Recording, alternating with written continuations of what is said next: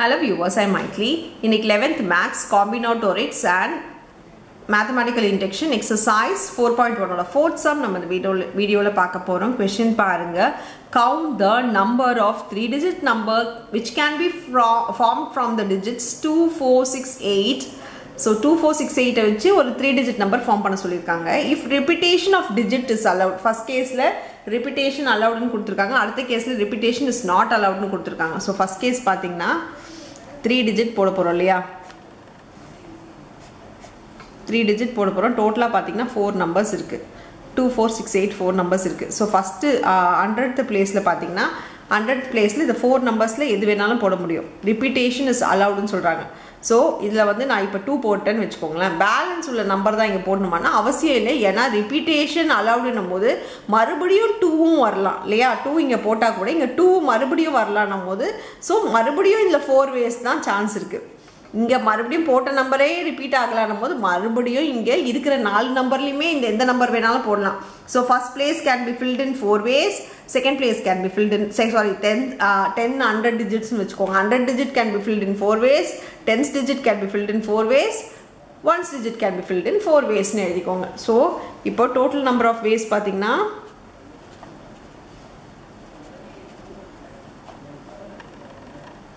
four into four into four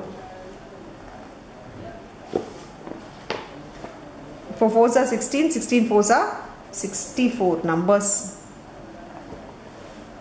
so first ஆப்ஷனில் sixty four வந்துச்சு. இப்போ நம்ம செகண்ட் ஆப்ஷன் பார்க்கலாம். செகண்ட் ஆப்ஷன் கொஷின் பாருங்கள் repetition of digits are not allowed இப்போ repetition not allowed same three digit number தான். இல்லையா? So three digit number three box போட்டுக்கலாம். இப்போ மொத்தமாக எத்தனை நம்பர் இருக்குது டூ ஃபோர் சிக்ஸ் எயிட் இருக்குது அதே ஃபோர் நம்பர்ஸ் தான் இருக்குது ஸோ ஃபோர் நம்பரில் நான் ஒரு நம்பர் இங்கே போட்டேன். ஃபஸ்ட் எடுத்த உடனே எது வேணாலும் போடுறேன். இப்போ சிக்ஸு போடுறேன்னா எனக்கு வந்து ஃபோர் வேஸ் இதில் எது வேணாலும் போட முடியும். இப்போ சிக்ஸு போட்டேன்னா அடுத்த நம்பரில் அந்த சிக்ஸ் நான் போடக்கூடாது. ஏன்னா ரிப்பீட்டேஷன் அலௌடு கிடையாது. ரிப்பீட்டேஷன்னா திருப்பி அந்த நம்பரை போடக்கூடாதுன்னு அர்த்தம். அப்போ சிக்ஸு தவிர வேறு எத்தனை இருக்குது த்ரீ நம்பர்ஸ் தான் இருக்குது ஸோ நீங்கள் ஃபோர் நம்பர் ஃபஸ்ட்டு கேஸில் நாலுமே போட முடியும். டூவும் போட முடியும் சிக்ஸும் போட முடியும் ஃபோரும் போட முடியும் எயிட்டும் போட முடியும். அதனால எயிட் ஃபோர் நம்பர்ஸ் போட்டிருக்கோம்.